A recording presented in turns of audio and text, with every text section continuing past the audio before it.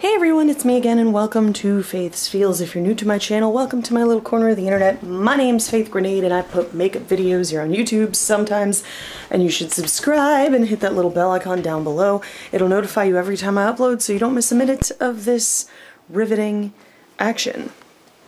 So riveting. There's a groundhog in the yard and my cat is just taken by him. You see him?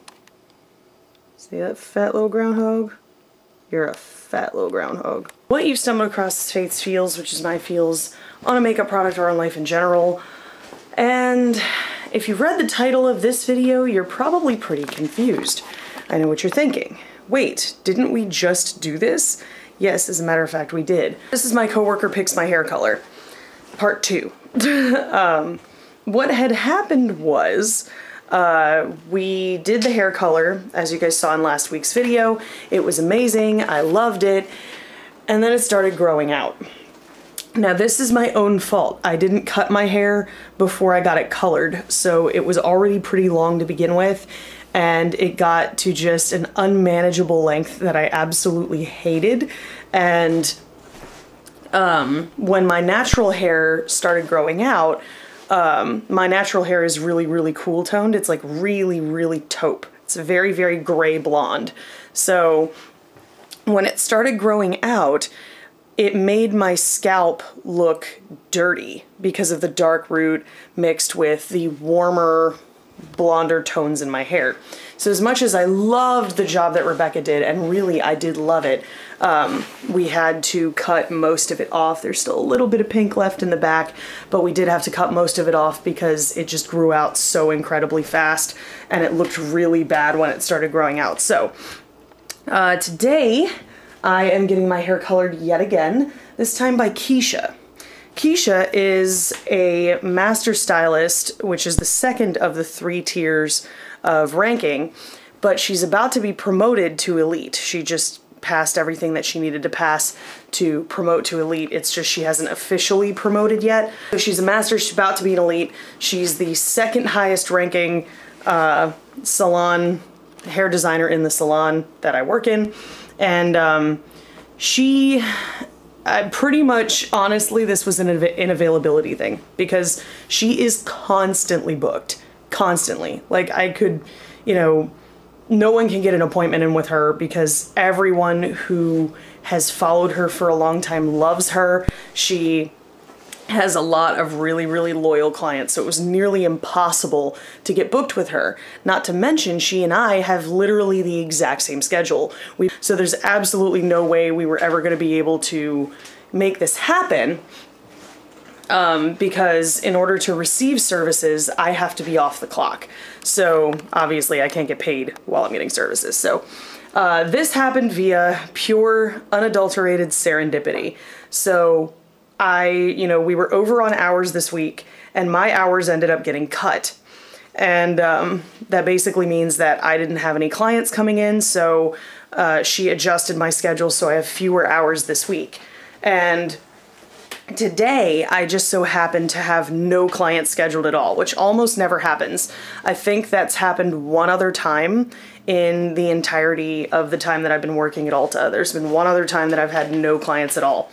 And she was like, all right, well, you know, you're not, you don't have any clients, so you have a couple options here. You can either uh, work for a couple hours and try to drum up some clients, or we can just take you off the schedule for that day and you'll have the day off. As it so happens, uh, Keisha, it's literally been so dead this week that Keisha even had openings. And I was like, Keisha, this is probably the only time we will ever have to do this do you want to do my hair? And she said, uh, yes, absolutely. So it was pure luck that we just so happened to, you know, the universe worked in its mysterious way, and now I'm going to get my hair done by her. Uh, preface, I extracted a pimple today, so pardon the redness, and then my lips are hopelessly dry, as always. But my appointment's at 10 and it's 9.06, so I really need to get on the road here pretty soon. I, again, if you haven't seen the the video last week, go ahead and watch it. But the long and the short of it is, Keisha, my coworker, my work wife, that's my boo. She and I look out for each other at work, and we're very, very good friends now. Um, she is going to be picking my hair color. I am not allowed to see anything until it's done. I'm not allowed to know anything until it's done. So I do not know what this is gonna look like, uh, and I won't know until it's done. Goal is to eventually have every hair designer that works at my store color my hair at least once, but I will not be able to um, film any of it because Ulta has very strict policies about filming in their stores. So I have to adhere to those policies. I can't film in there, but you guys, the next time you see me, I will have a different hair color. You can still kind of see a faint hint of pink at the back, but we did cut most of it off. See you guys when I have new hair. Ready? And here it is. Let me wait for my camera to focus, but here we are. We have arrived and we're blue and orange this time. I really didn't know what to expect going into this because I knew um, Keisha was my girl and she had a couple of ideas that she was kicking around in her head. And I thought I heard her mention pink when she was talking about what she was going to do. And as much as I adored the pink that I had on my head from Rebecca doing my hair, my boss, um, I really didn't want to do pink again because it was like, you know, change things up a little bit. So I was not expecting her to go blue and orange. I really wasn't. But this is what we have now. It's striped, which is awesome.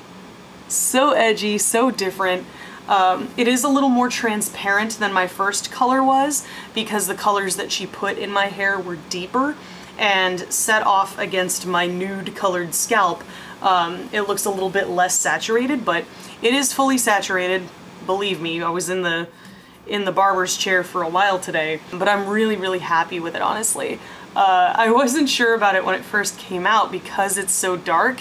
Um, I'm used to people going a little bit lighter on my hair because I do look really good with light hair, but this is so cool. Like, I love the fact that it's striped and that it's different on either side. So I literally look like I have a different hair color depending on how I turn my head. And I'll show you guys the back. If you can see that, there's the back right here. Yeah, I'm pretty thrilled with how everything came out, to be honest. This is what's going to be on my head for at least a little while. Now, I can't honestly say how long it's going to be on my head, I'm very, very happy with the way this came out. I think it looks awesome. I think it's really, really edgy and badass. And so thank you so much to Keisha for helping me out and for uh, humoring me in this little experiment.